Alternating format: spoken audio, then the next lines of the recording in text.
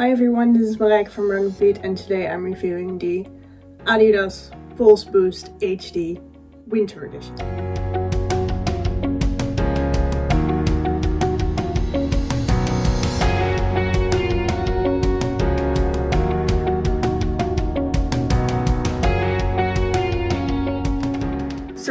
Is not the first shoe from Adidas that I get to review. I've reviewed the Solar Drive before and the Solar Boost, I believe. Uh, both with the traditional Boost midsole, which is the pretty famous midsole from Adidas. But there's quite a few runners out there that think that the Boost midsole is a bit too soft, especially in the Ultra Boost edition. So Adidas has now made Boost HD, and no, it doesn't stand for high definition, it stands for high density. So it's basically more boost in the same midsole, and I found that actually sounded like a very good idea, because, well, who doesn't like boost and who doesn't want more in the same midsole? But it's actually a really different experience than the traditional boost uh, I've been running in before. So let's start with the upper. They have a ballistic knit uh, upper on this one because it's the winter edition and it's supposed to keep out uh, some of that water, some of that snow when you're out running during a winter. I think that's actually a really good idea because once it gets colder and I wear my regular running shoes, I do get cold feet and um, that's the moment when I'm not too happy with a too breathable shoe. It does keep my feet warmer than some of the other shoes I have. I like the idea of a winter shoe.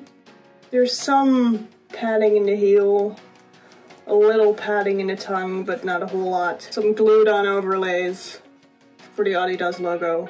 And it has an internal heel counter, which is reinforced on the back here, but there's not a whole lot of structure to this upper. So I had some issues with the upper and especially with lacing this upper. This shoe has a semi-detached tongue which I liked initially because um, I'm not a huge fan of one-piece knit uppers. The problem with this is that there's no cutout for the laces. It's just a ribbon or a band stitched on top and the laces go through the band. And the problem with this is that rather than when you tighten the shoe, rather than those two parts coming together over the tongue. It's just pulling on the band, rather. And eventually, if you try to tighten it too much, it will fold in on itself and it will create a hot spot. So I really had trouble tying the shoe down. A nice little gimmick they did is that it has uh, a QR code on the top of the tongue, uh, which actually leads you to a Spotify playlist. I mean, it's never useful for a running shoe, but it's a nice gimmick. Then the thing that I did like about this shoe is the outsole. Um, this is Continental rubber, and it's actually quite a lot of it.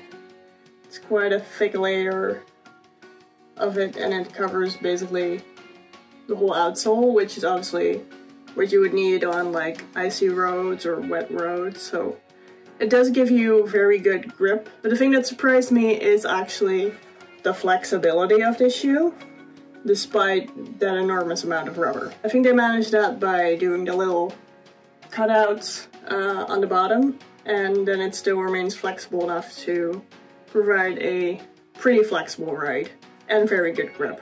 So that's definitely a plus of this shoe. And then onto the Boost HD midsole. It's definitely a much firmer ride than the traditional Boost. But the stack height of this shoe also isn't a whole lot. It's 10 millimeters in the forefoot and 18 millimeters in the back. Due to the outsole, it is pretty heavy. It's 290 grams in the women's model. There is quite a lot of ground feel. It's quite a firm ride. There isn't an, the same amount of bounce that you're used to with regular boost, so you don't really sink into the material of the midsole as much as you do with the more traditional boost shoes. But if that's what you didn't like about the traditional boost, this is actually a good shoe for you. Personally, I like more maximal cushion shoes, so for me, this shoe was a bit too firm.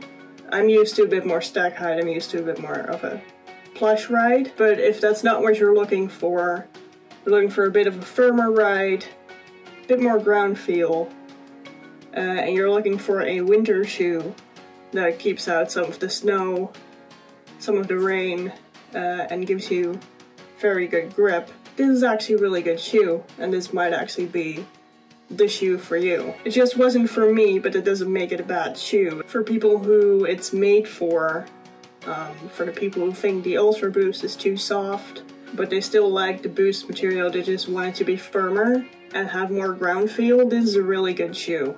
I give this shoe a 7.9 out of 10. That's mainly because I have some problems with the upper. I think this could be a really good shoe if they change the upper, if they change the lacing system, and gave some more structure to the upper. So if you'd like to know more about the Adidas Pulse Boost HD Winter Edition, you can check out my full review on our Run Repeat website.